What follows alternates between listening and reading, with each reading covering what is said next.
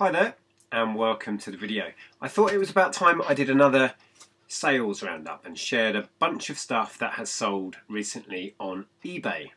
If you're new to the channel, my name is Nic. I am a reseller.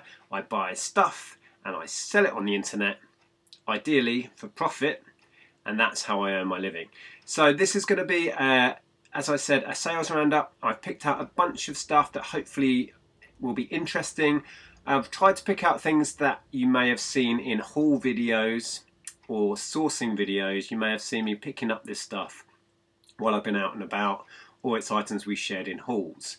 Um, so I'm going to do a slightly different format here. I'm streaming this direct into iMovie and I'm going to lay the photographs over the top. So let me know if you think this uh, format works better. Um, so let's crack on with it. So the first item here is this genuine vintage 1970s stroke 80s. I wasn't sure on the date of this. Coca-Cola tray. You may be able to see it says not available two sold. Now we didn't have two of these. Obviously it's a unique used item. Um, but we sold it and then it wasn't paid for. Um, so we opened a like non-paying bidder thing and got our fees back, and then the same buyer bought it again on offer. Both times he made an offer of £16. The same buyer bought it again and then failed to pay for a second time. Um, anyway, so the second time uh, we relisted this, we just added one quantity back onto the listing, if you see what I mean. So it says two sold, but we've only sold one. This time it's sold to a subscriber called Ricky, so thank you, Ricky, if you're watching. Um, yeah, nice thing. Uh, I paid 50 pence at a yard sale for this uh, vintage Coca-Cola tray. As you can see, uh, a fair amount of wear. Um, you can't take enough pictures of an item like this. You might as well take lots of pictures and that will describe the condition way better than you can with words. But I'm happy that that's gone and was paid for this time, so thanks for that, Ricky. Um, yeah, it was getting frustrating with the uh, original buyer of that. So next we have this. Now, this was on the same yard sale trail thing as I picked up that Coke tray. Um, this was a lovely, lovely item. I was really excited when I found it. I really thought it would have some value, but I wasn't wasn't expecting it to have this much value. As you can see there, it was listed at 99.99. Um, I actually took an offer of 80, which I was happy with. Um, it was priced up at I think six pounds at the yard sale, um, but we got a bunch of stuff from that stall, um, a load of crockery and other bits and bobs. So I think I ended up paying four or five pounds for it. Um, but really happy. As you can see in the later pictures here, um, it had been partially started. Some of the pieces had been really nicely painted as you can see. Um, so obviously I declared all of that, took as many pictures as I could to show the parts that had been worked on. Um, and it sold, it sold really quick, so very happy with that. So look out for these uh, model kits. Uh, this was made by Bandai. I don't think I've sold a Bandai one before. But yeah, great pickup that, really happy. Next, now these are the infamous phones. I picked up a job lot of phones again on a like a jumble trail, yard sale trail thing. When we went up to Walthamstow, I got these 10 phones um, for 20 pounds. There was loads of other stuff with it, loads like modems and routers and these all had power packs as well. It turned out that the phones were admin locked and for love nor money I couldn't find a way of unlocking them. So I sold the phones, as you can see, for £30 with free shipping. So after the shipping and fees come off this, I'm roughly getting my investment back of £20. I'm happy with that.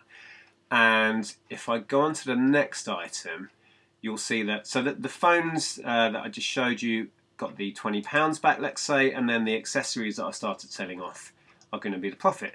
So this sold, this again says not available to sold, if you can see there, because the first buyer cancelled and then we just added one back to the quantity.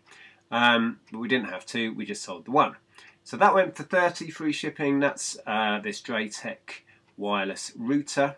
Um, I've also now sold, I think, four of the uh, power adapters for the phones at £10 each and a little BT modem has gone as well for a tenner. So the the deal wasn't great.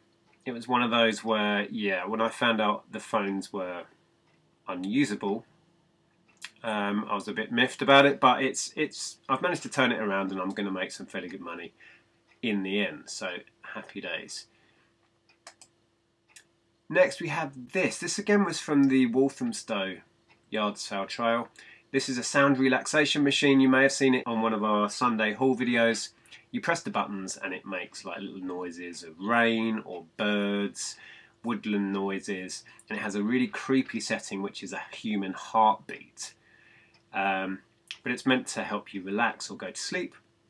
I actually got this for 20 pence, and as you can see there, it sold for 15.99 with 2.99 shipping. So, yeah, happy with that. Quick and easy to do. Um, yeah, recently I shared that I, I picked up a bundle of rave and jungle and club um, cassettes. Um, and I thought they were going to be good, and they turned out to be good. Within 24 hours, I'd sold £100 worth of these. And I think I got the box full for a pound or two, so they owe me like 10p each. crazy. Um, one buyer bought the three I'm about to show you, said it's Mickey Finn one. Uh, it's that I took an off on of 20. Uh, this DJ Trickster Jungle Mix, uh, he paid 15 on, and this JJ Frost Intelligent drum and bass. Not quite sure what intelligent drum and bass is. Is that in contrast to the daft drum and bass? I, I don't. I really don't know. Not my bag. Um, but yeah, so fifty pounds all in. So it's twenty and two 15s. Yeah, fantastic. Really happy with that, and they all went to the same buyer. Uh, and we sold a bunch of other ones. Like I said, sold hundred pounds worth within a day, and yeah, amazed at those. So keep your eyes peeled for these. Are all from the nineties. Um, they're not barcoded, so I don't know if they're like kind of bootleg, unofficial, or they were just sold through the clubs, or or they were part of tape packs, or, or what. I'm not really sure, but yeah, keep your eyes peeled for those. Next, this is the only one of Andrea's sales I'm sharing. I usually don't share Andrea's stuff. Um, I'll let her do sales roundups, but this kind of blew my mind. I remember Andrea picking this up and I thought it was hideous at the time kind of love it now because we managed to sell it for £50. It's a vintage 80s hand knitted, oversized turquoise cardigan mohair blend. Um, as you can see, Andrea is hot on her keywords. But yeah, ugly as hell if you ask me, but £50? I can't remember what Andrea paid. It probably wouldn't have been any more than two or three pounds. Amazing. It's amazing what people will buy. Um, but like I say, that's I think the only one of Andrea's items. Uh, if you're new to the channel, Andrea is my wife. Uh, she resells alongside me um, in our business and she concentrates on clothing and shoes. Next, uh, recently at like a church sale, I picked up this Kenwood Chef glass blender jug and this uh, mincer attachment. Uh, paid a pound each and they sold quick. We go back to the liquidizer jug, as you can see there, 24.99 free shipping. Now this is a, a, really vintage one. I think it's from the 60s. It was in its original box. The box was bashed up. Um, but yeah, so worth looking out for. And we got £15 free shipping on the Mincer. Um, as you can see, the pictures there just to to show the fitment and everything and show some close-ups uh, to get an idea of the condition. Really lovely condition this. So yeah, very happy with those. Didn't stick around for long. Uh, this was gorgeous. I loved this. I did drop the price to get the sale. I think I first had it on at 60 or maybe even 70. I might have dropped it twice. Um, it went in the end to a local guy who popped around and picked it up and he's actually going to use it himself. He wants to get back into writing or get, and he wanted to use a typewriter, you know, go old school. So I love that, that this is actually going to be used for its intended purpose. As you can see, I took loads of pictures to show all of the detail on this, and it was just a really gorgeous thing in wonderful condition. So very happy that's gone to somebody local so I didn't have to ship it and somebody who's going to actually use it, which is great. Next, I thought I'd share this because I chose that as the lead image, a close-up. What this is, it's a Harry Potter um, Hungarian horntail dragon. I just noticed I didn't put Harry Potter in the title, which is very odd. Um, but it sold and it sold fairly quick. I got £20 free shipping for this. One of the reasons I chose the close-up as the lead image was it didn't photograph well when you when you had it laid out and you got all of it in. It's a very kind of odd shaped thing. And the lead image I chose um, I thought worked so much better and it had much more impact. And it did the job because it, it sold quick. So yeah, very happy. I think I paid a pound for that at the boot sale. Um, it's it's a Warner Brothers studio tour from the London tour. Um, that's where that came from.